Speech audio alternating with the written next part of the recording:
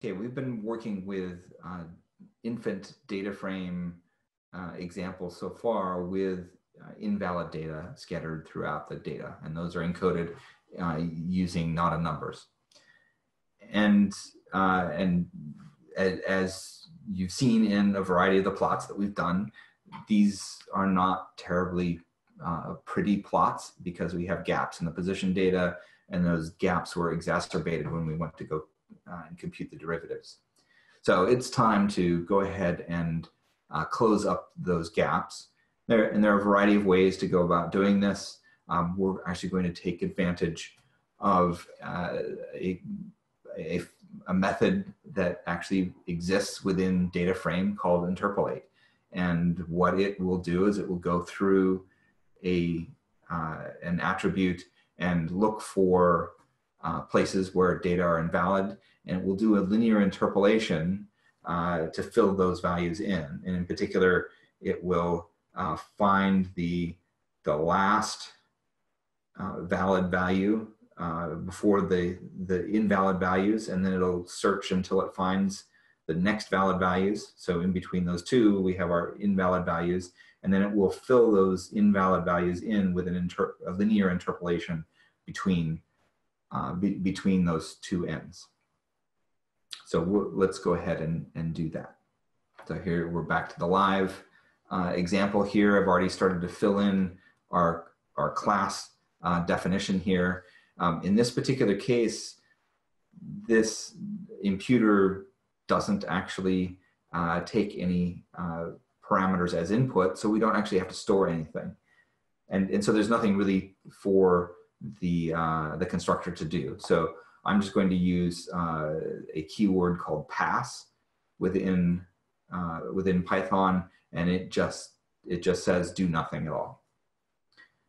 We're still going to define our fit method that takes as input uh, self, x, and possibly y, and it'll return self.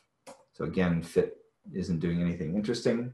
And, uh, and then we're also going to create our transform, that's where the magic will happen. So let's remind ourselves that X is a data frame. So that's, we're adding a little bit of documentation there. There are more formal methods to do documentation in Python. We can talk about that a, a little bit later. So let's go ahead and do the interpolation. Let me write the code and then we'll talk about it. Turns out to be relatively uh, simple. Uh, so the, what the interpolate method will do for a data frame is it will walk through all of the columns, look for invalid data, and, and, and compute linear interpolation values for all the in, invalid data. What it returns is a new data frame, um, not, not a modified one, but it returns a, a new data frame with all of those interpolated values uh, inserted into the time series. Actually, it doesn't, they don't necessarily have to be time series. They can be any, uh, any vectors. The last thing, of course, we want to return our, our new data frame. And that is the extent of our linear imputer uh, implementation. So this is a case where we're, we're hijacking a function that is provided by pandas and, uh, and creating a pipeline element that, that uses that. So let's go ahead and, and create one.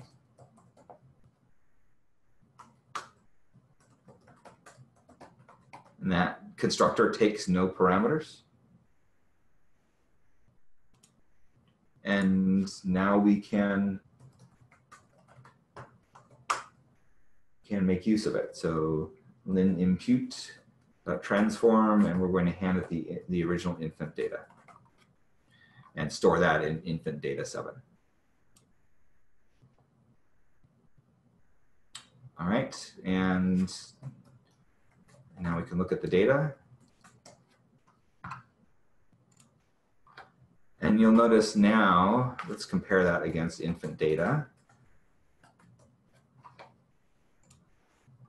So infant data originally had not a numbers for the left wrist and at uh, row two, and those values have now been uh, have, have now been uh, filled in with uh, valid values. And if and if you stare at it long enough, you'll you'll see that this value here sits right in between what we had in row one and what we have uh, in in row three. Okay, let's go ahead and and uh, plot the results that we have here.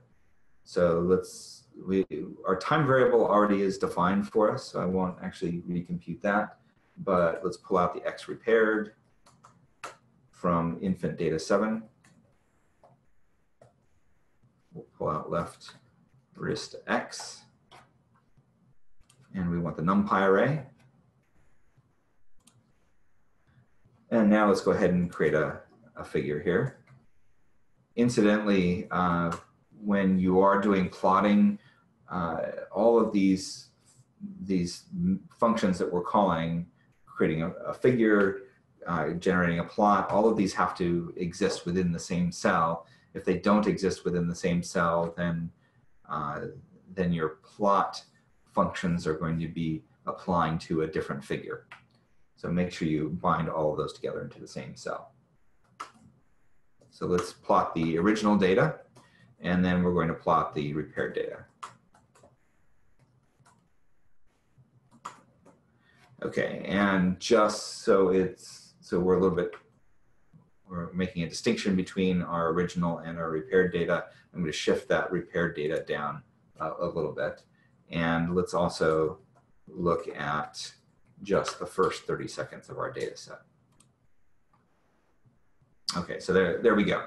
Uh, so green is our repaired, red is our original. And you'll notice now that we have all of our gaps uh, filled in. Uh, there's one there, there's a, a fairly sizable gap there that has now been filled in uh, etc.